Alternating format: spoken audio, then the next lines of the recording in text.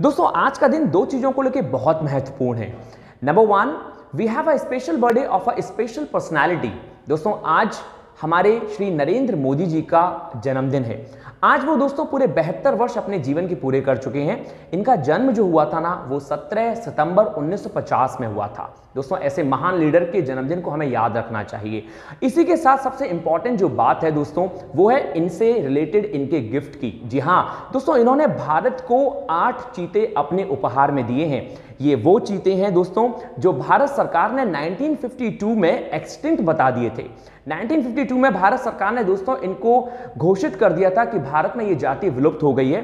1948 में लास्ट जो चीता देखा गया था, वो छत्तीसगढ़ के साल नेशनल पार्क में देखा गया था। और 1952 में भारत सरकार ने इनको एक्सटिंक्ट घोषित कर दिया। उसके बाद से दोस्तों 2022 में नरेंद्र मोदी जी के जन्मदिन पर ये चीते नामीबिया के विंडहोइक शहर से लाए गए हैं। और ये भारत में सबसे पहले नामीबिया से लाए गए हैं राजस्थान के जयपुर में।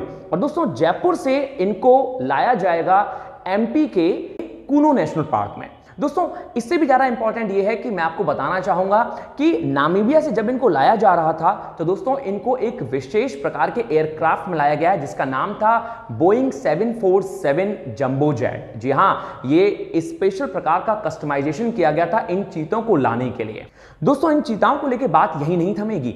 एक्चुअल में ये जो प्रोजेक्ट है चीताओं का ये फाइव ईयर प्रोजेक्ट है। नरेंद्र मोदी जी ने जो ये एट चीताज दो, दोस्तों जो ये गिफ्ट किए हैं ये चीताज एक्चुअल में भारत में 40 चीताओं की संख्या में लाई जाएँगे और पाँच साल के अंतर्गत और पाँच साल के अंदर अंदर इनकी संख्या 40 बढ़ा दी जाएगी। तो दोस्तों, आपको बताना है कि ये जो चीते लाए जा रहे हैं नामीबिया से, नामीबिया किस कॉन्टिनेंट में आता है? और साथ ही साथ आपको यह भी बताना है कि नामीबिया की करेंसी क्या है? जी हाँ ये दो क्वेश्चंस आप मुझे मेरे कमेंट बॉक्स पे आंसर देंगे इन दो क्वेश्चंस का। That's it